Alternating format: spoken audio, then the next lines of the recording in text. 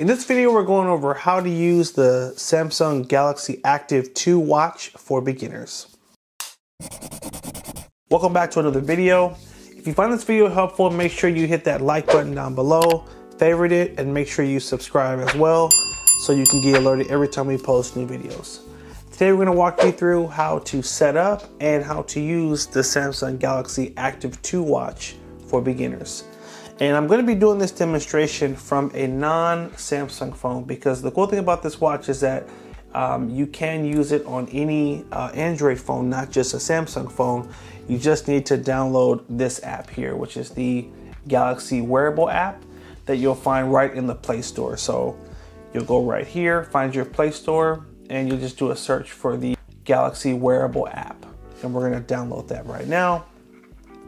While that's downloading, we're gonna just tap on the selections on the screen here. So swipe up to let's go. So right here showing you uh, get started in your Galaxy wearable app. So we have the app downloaded right now, perfect. We're gonna tap open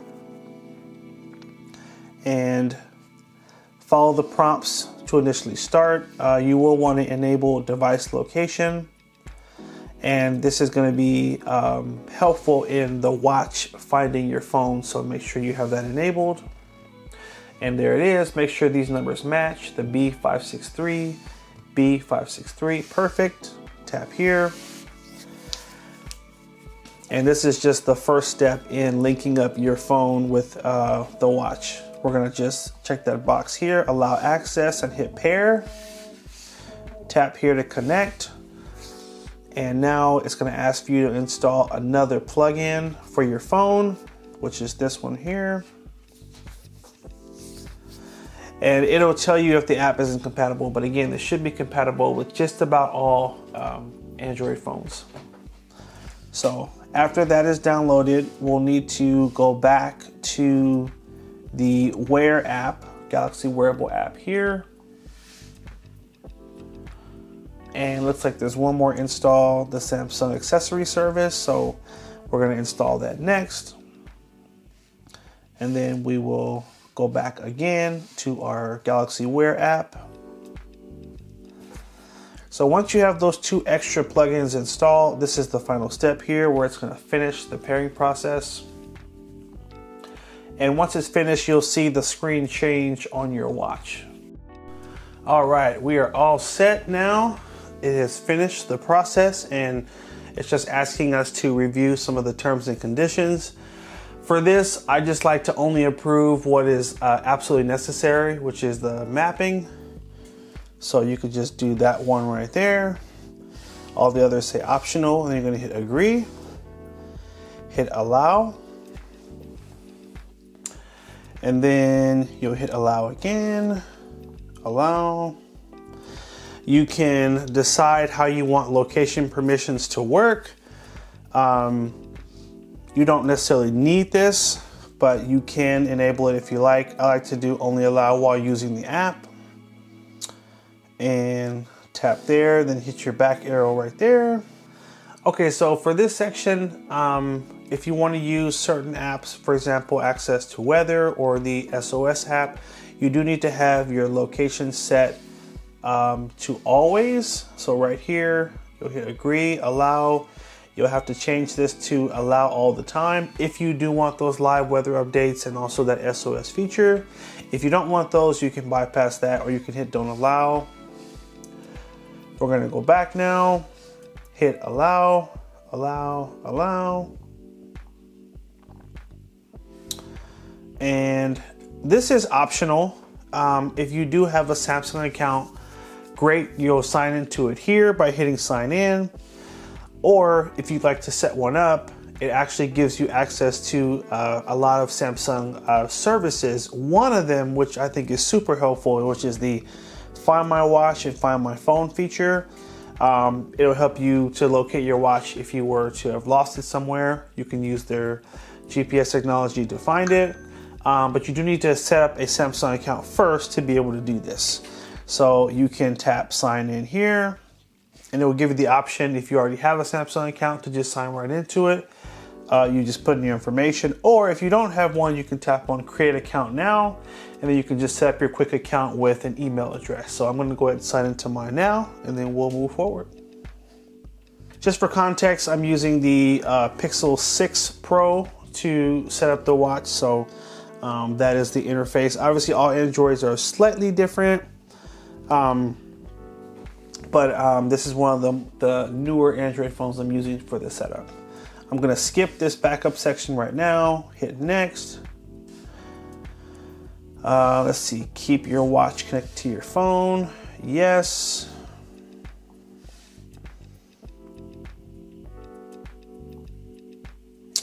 and we are good to go. That is the those are the main setup um, things you have to do. And you can see on our watch here it says take a look around. This is where it'll give you a cool quick snapshot of using the watch. So we're gonna uh, swipe that way so you can see some of the different apps that are pre-installed. So this is the home screen where you see the, the time obviously and when you swipe to the right this will show you any notifications that have come through. So if you got a text message, an email from your phone, swiping to the right is how you um, get to see those notifications and interact with them. This it's pointing to is the back button right here. So I'll just tap that to get back to the home screen. No matter what you're doing, tapping that button always takes you back to the home screen. And then tapping the bottom button takes you to your home key, which is where you'll have all your apps. So tap that. This is our app screen where you can see all the different apps installed on the phone. And then swiping down from the top of the screen brings up your uh, quick settings. And this will show you um, different things. For example, your control your brightness or put it on night mode or put it on um, vibrate or it's still trying to go through the, so I'll go back to that in a second so you can see all the different options there. So next cool thing is when you see this little dot on the left, it's telling you that you have new notifications and a quick swipe to the right is how you swipe through to see all the notifications. Once you've read one, if you'd like to delete it, you can just um, swipe up to erase it. So, so for example, this is a pop-up and I can just swipe up and that will delete that notification. So that's how you see them and then how you delete them as well. Now back to what I was showing you earlier, swiping down brings this quick settings menu which allows you to put it in night mode, change the brightness. So if I tap here, I can um, increase or decrease the brightness on the screen, which is definitely great for when you're in the movies and it's dark and you don't want your watch um, to be too bright. Hit the back button there. Um, I have a do not disturb here, which will also put your phone in do not disturb as well. So FYI, you want to put your watch on vibrate just so that the notifications come through, but they just vibrate, just tap on the little speaker in the corner here. And you can change from ringtone. Let's see, you'll tap on ringtone here and you'll just want to go down to zero Zero automatically puts it in vibrate and then you can start going up from here to control how loud the notifications will ping. They can get pretty loud. Like that's basically way too loud. You never want to put it on a 14, but um, you know, you can put it on like a four or five and just to get that uh, little uh, reminder when things are coming through. Um, you'll have an option here for settings to get right to the setting uh, phone settings. Here, this is to control your um, your always on, which is a really cool feature. So when this is enabled, it will keep the home screen on all the time. So um, in the normal setting, when this is not turned on, the screen will stay on um, for about five-ish seconds if you're not touching it, and then it will go to sleep. If you turn this on, then your screen is always going to be on, which is a cool feature, especially if you have a really cool wallpaper or a watch face and you want people to see it. Um, having the always on display on is really cool and it, it can draw cool attention to your watch. But it does drain your battery, so you need to be aware of that. So um, I would use that sparingly. We can just swipe down again to turn it off Let's try our back button here. Turn that off. Swipe to the left. We have a bunch of other modes. We have a specific movie mode here, which lowers the, or it's a theater mode. It lowers the uh, brightness and it turns off all the sound automatically. This is another cool setting. If you go into a meeting, you can just put in that theater mode. You have a flashlight, which it will basically light your screen up super bright so you can use it as a flashlight, which is cool. I actually didn't know that, so I'm learning that for the first time as well, so always cool. Flashlight, You've got your battery saver mode, so if you want to um, get that battery to extend longer. Maybe you didn't charge it and you want to still try to get through the day. You can put on battery saver mode. One important note is that in the battery saver mode, um, the notifications come through a little differently. So, like, you'll get notifications, but you'll have to uh, tap on them and do a few extra things in order to read them. Um, again, the, the point of battery saver mode is to restrict the functions of the watch. Like still make sure it's working, but to stretch the battery, and it does that by restricting uh, some of the notifications that come through. All right, so we have this setting here as well. So this is the water lock function, which is a great feature for um, the times when you're swimming or you're working out. What it's going to do is it's going to disable um, your touchscreen and the gestures so that the watch doesn't go haywire if you spill water on it, like because you're working out and you're sweating, or you're in the pool and it's uh, again it's in the water, it's out of the water. It's disabling the touchscreen temporarily so you can do normal things without the watch vibrating a ton. All you need to do is hold down on the home key for two seconds to exit the water function. There we go. So pretty cool function. And again, you know, makes the watch makes the watch really functional when you're still doing those active uh, tasks. All right, you got your Wi-Fi here. You got airplane mode as well when you go on planes here to disable your cellular connection. You've got a Bluetooth connection here as well. You can actually pair your watch right to your Bluetooth headphones and you can play music through the watch or uh, through your phone. Um, depending on if you have the 4G model or the Wi Fi model, you may use that more. Uh, like if you have the 4G model, you can store music on the watch as well, and then pairing the Bluetooth headphones is perfect because you can literally just take the watch and your headphones out and you're good. You got your GPS option here and your uh, battery uh, options here for the different options from power mode to optimized battery. So um, I would encourage you guys to use the optimized battery mode because that's going to get you more battery life. Power mode is taking advantage of a lot of the extra functions, but the battery is going to drain faster. Um, so we'll just select it just like that. And it will do the optimize here. and it's showing you uh, on that setting you'll get a day and three hours of battery life. All right, if we want to go back, we're to hit our back button here. Okay, so these are most of the main functions. We've touched on just about everything. And so again, just showing you how to navigate the main screen here, swiping left will take you to some of your shortcuts here. So like a shortcut I use a lot is the timer.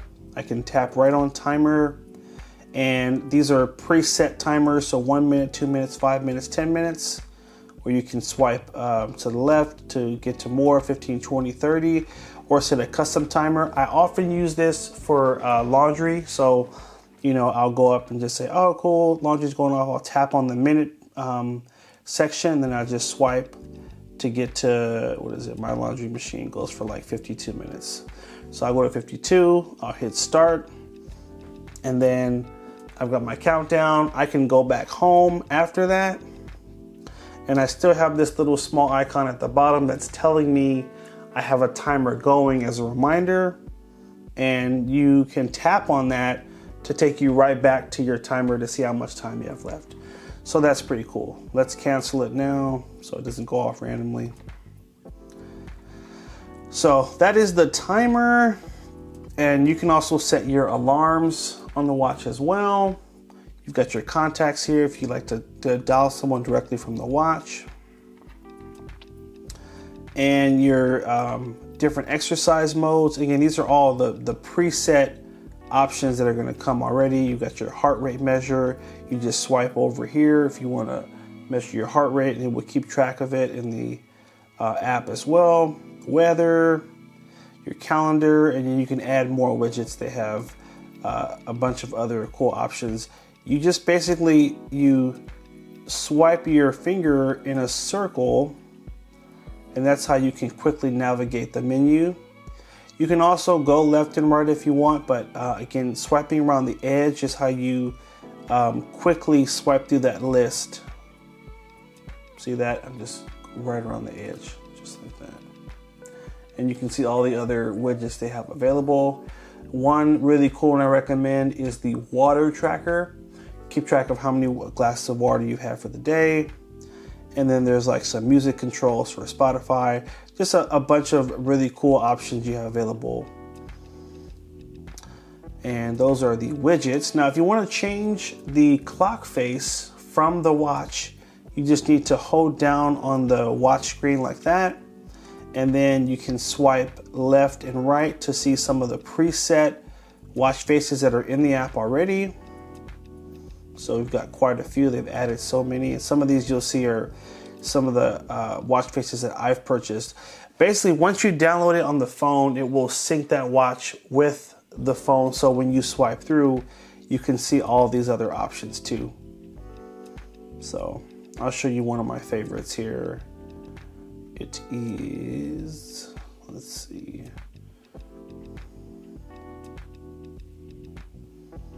This one right here. So this watch face is one of my favorites. You can um, hold down on it and you can change like the colors of the text.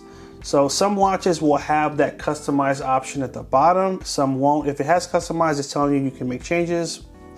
And here I can um, I can swipe through. Oh, shouldn't have done that. Okay, hold down again, tap customize. And the first section is color, so you can swipe along the edge here to go through some of the color options.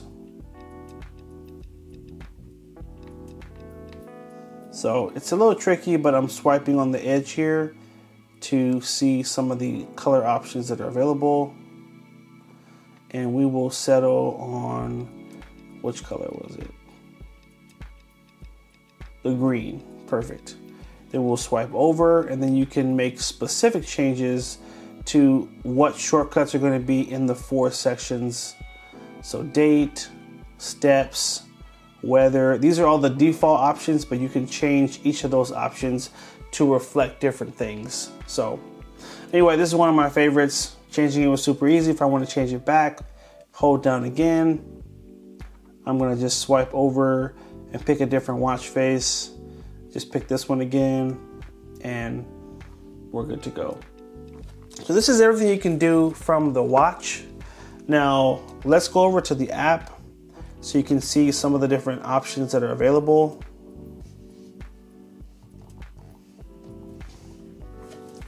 Okay, so now that we're in the app here, we have um, sort of uh, the same options, but we have more advanced things that we can select. Um, I, I love to demonstrate what you can do on the watch because you will primarily be controlling the watch from the watch, but there are some advanced things again you'll want to do that you need to get the phone out for.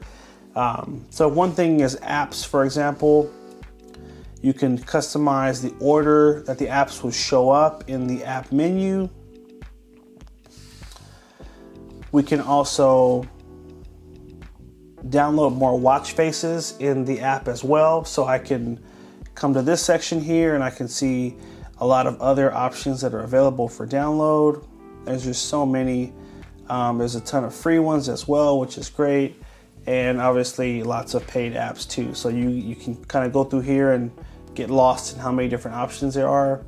Just to show you, let's say I wanted to download um, one of these ring apps right here. I just tap on the little arrow right over the watch face and it's going to begin downloading um, that watch face and then it will sync it with the watch to make it really easy for me to download it. So from here, I'm just gonna tap, hold down the home screen, and then I'm gonna swipe through and see, and here it is. I just downloaded this one and it's already synced with the watch. So this one, this one, and this one are already synced. If I wanna change it, I just simply tap on it and it's gonna select that as the new watch face. So super easy to download new um, watch faces and again, there's going to be a lot that are going to show up in the app, but there's even more um, outside of this. So we'll go back. We have our quick panel as well, which I went through. Now, the cool thing about that menu is you can customize it. You can change the order of the apps. You can just simply tap on one of the little dashes here to move or just to delete an option, and you can hold down others Let's see, can you hold down? Yeah, you can hold down to change the order of how the apps are going to appear in that quick settings. You also have some other options down here that are available, like a, a play stop button for music, NFC, a, a power off, a watch always on. So you got some other things you can just hold down on and drag right up to this section. Or I think it might automatically add it to the end, but that's fine. All right, if you swipe up, you'll see you've got a few more options here. So more watch settings. All right, and we're gonna wrap it up right there.